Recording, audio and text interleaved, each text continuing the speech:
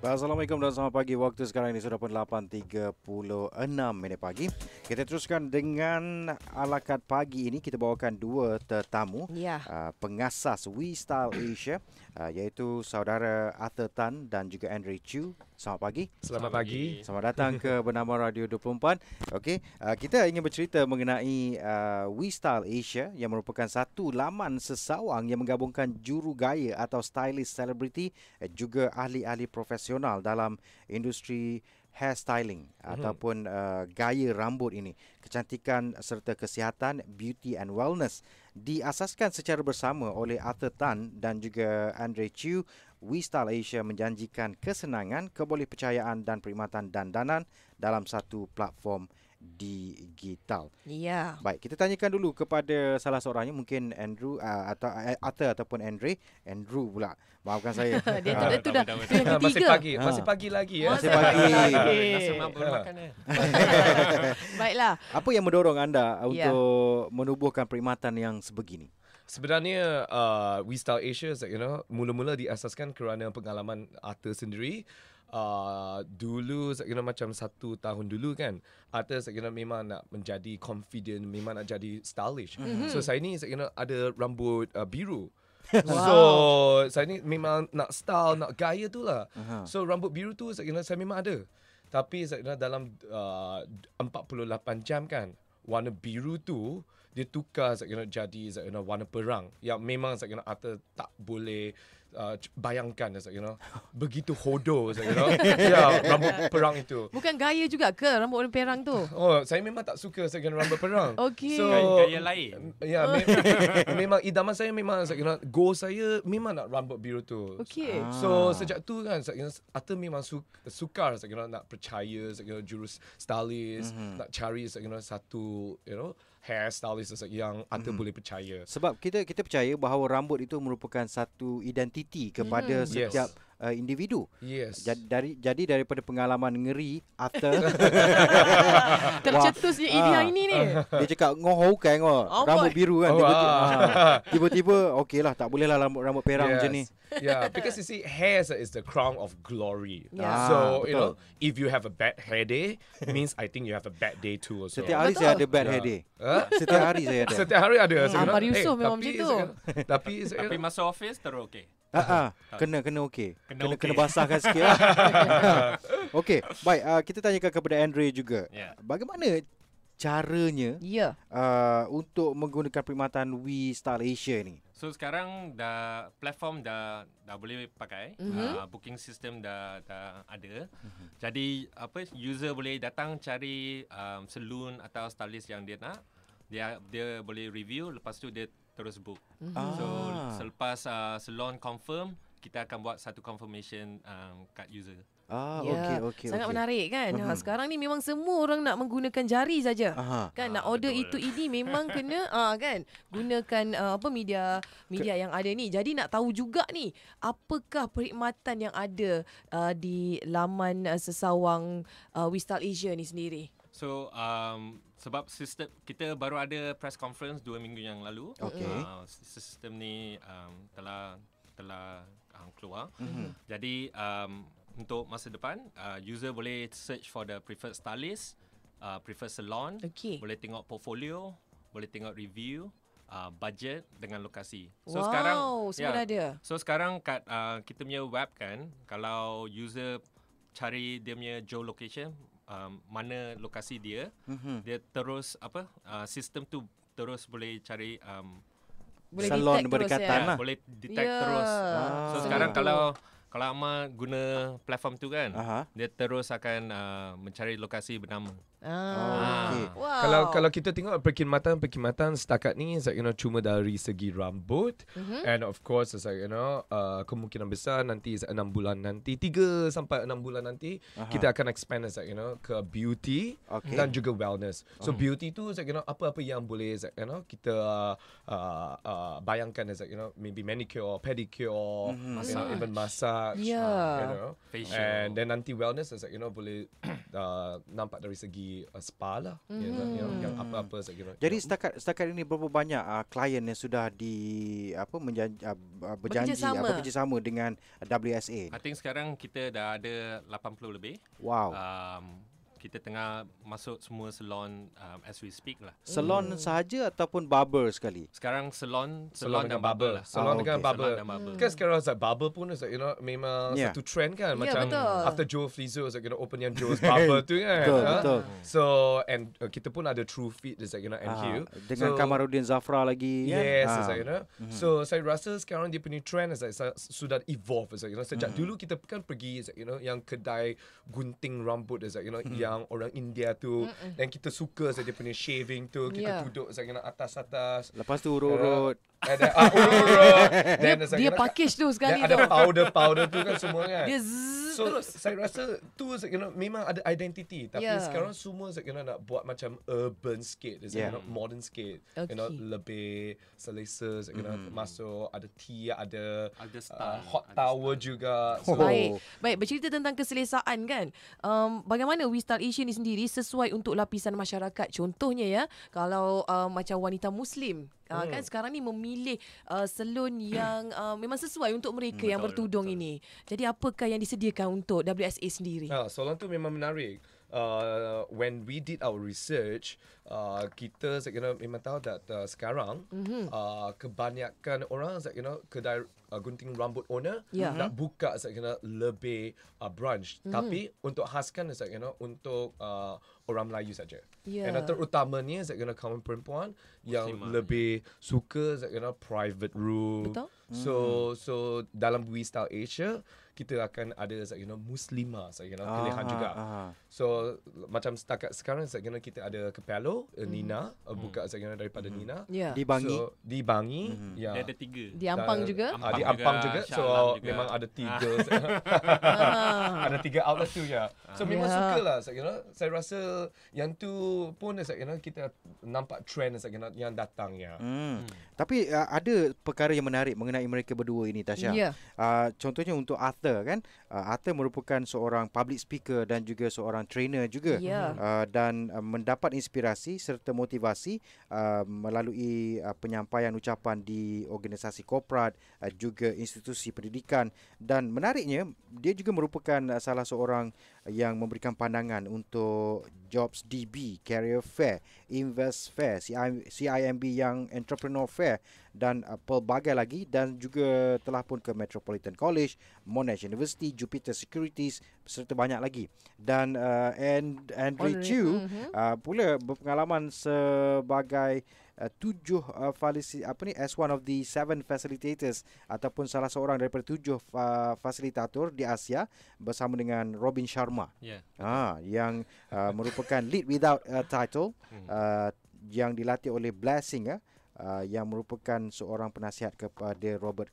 Kiyosaki. Yes. Yeah. Hmm, Yeah. Rich Dad Poor Dad. Yes. Ha. exactly. Bukan Wow. bukan calang-calang ni Hmm. kan. Ah tapi nak kita nak tahu juga kan macam pendapat uh, Arthur dan juga uh, Andre, Andre. sendiri kan.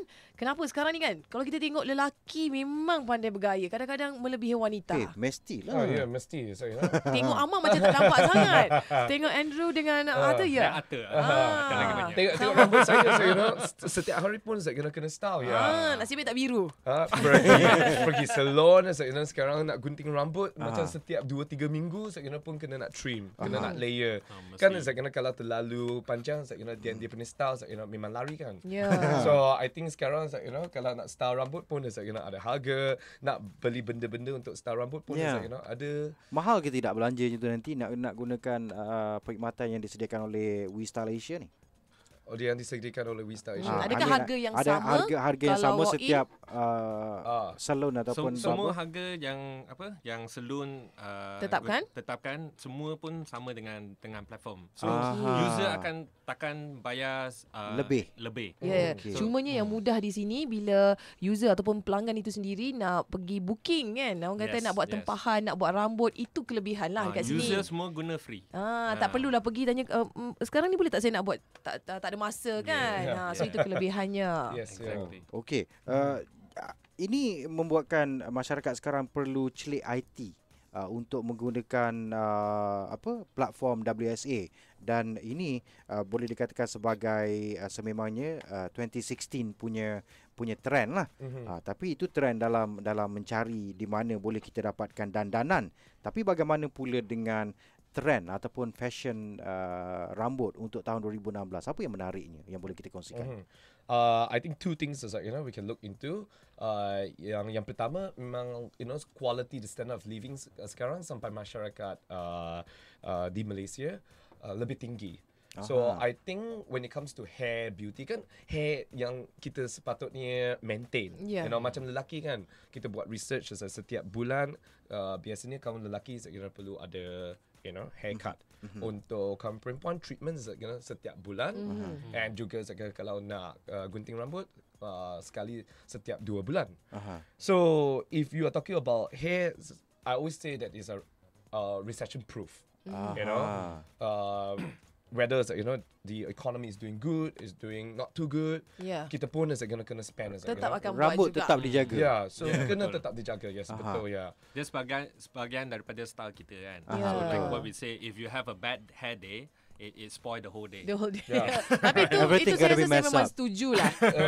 kan kalau wanita basuh rambut tiba-tiba tak sempat nak hari raya kan. Tak sempat nak Yeah. keringkan. Datang pun muka macam Tiba-tiba dia jadi mudi hari tu. ada Yeah, mudi. Yeah. Apa dia jadi dengan rambut ni? Dan in, in Malaysia is full of celebration kan. So Mhm. tiap-tiap kali before Christmas, Chinese Chinese New Year, Hari Raya. semua, you have to look good. Yeah. Then betul. first day of work, coming back from work, coming back from holidays. Eh, tapi Andre, uh, kenapa eh lelaki ni lebih gemar pergi ke kedai gunting rambut berbanding dengan salon? Um, I think the trend is changing. Aha. Um, right now, there's a lot of me- metrosexual Uber Mhm. duduk tepi air sekarang. yes, so saya So- I'm one of so them. I, I guess right now trend untuk guna apa guna salon Aha. lagi lagi tinggi. Um, okay. So if masa kita buat research, kebanyakan uh, a big percentage of people yang datang kepada platform kita Mhm. lelaki. Oh. Ah, Yep. tapi yang perempuan they stay at our platform longer. Aha. Ah. Sekarang lelaki dia lebih gemar kepada gentleman style kan? Gentleman Kem- style. kembali kepada uh, are zaman a lot of dulu. different the crop hair. Yeah. you know, Ah, like- jadi ada like adakah itu disebabkan oleh pengaruh orang kata uh, Selebriti ke? Selebriti barat Aha. kan Kalau kita tengok Memang kat Facebook pun viral kan Potong macam ni Potong lime macam ni Lime macam tu Hmm. Adakah itu antara salah satu Do you think sebabnya uh, maafkan saya adakah anda fikir saya kita saya kena berbahasa Melayu uh, Ya. adakah anda rasa Ya Cik bahawa Ahmad Dah nak jadi hairstylist ni adakah adakah selebriti ini mempengaruhi persepsi masyarakat Ya. tentang Of gaya course, of course. Memang ada, you know. Cuma tengok sekarang uh, yang gambar sekarang sekarang Aha. tengok yang yang kawan kita, you know, dia tu radio announcer juga. Mhm. Sa- saya rasa trend tu, you know, rambut-rambut yang berlainan, you know, Mhm, rambut yang berani. kena- Ya, so dia punya color yang tu, you know, salah satu daripada trend juga. So kalau kita tengok, you know, eh dekat mana, you know, pengaruh you know, datang dari. So memang, you know, dari barat, ya. Ya. social media pun satu uh, Platform one, juga, one eh? platform that yang uh, mempengaruhi Ya. um, how style and trend is going to Okay. come. Uh, okey So ah, people are more bold, people are more daring when it comes to to appearance, and plus also I think the society is accepting it as well. Mm. Ya. Saya nak tahu juga adakah WSA ni memberikan konsultasi consultation kepada uh, seseorang ataupun individu yang datang okay guys I need your opinions.